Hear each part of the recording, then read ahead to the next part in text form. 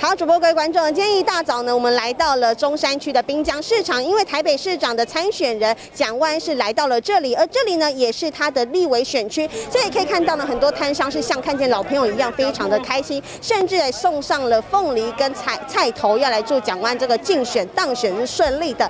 但是呢，针对这个北市长之间，他们参选人的战火也是持续的延烧。像在陈时中针对蒋万有提出说，上任后一年内会让大巨蛋完完工。陈时中则表示说，蒋万说话已经让人很难相信了。蒋万也回呛了，一起来听。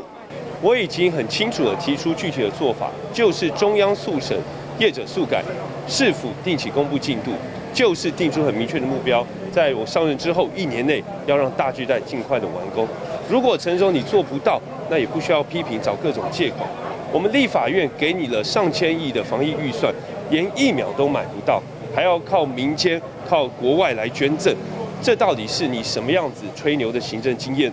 好，那另外呢，针对宠物友善相关的政策，蒋万昨天是发表了记者会，接着呢，陈时中也发布了相关的政策。这个呢，蒋万也是在回摔，说有好的政策，欢迎大家拿香跟着拜，但是自己的执行力绝对是最高的。这也可以显现说，两人之间较劲意味相当的浓。以上想今天情形，把时间交给棚内。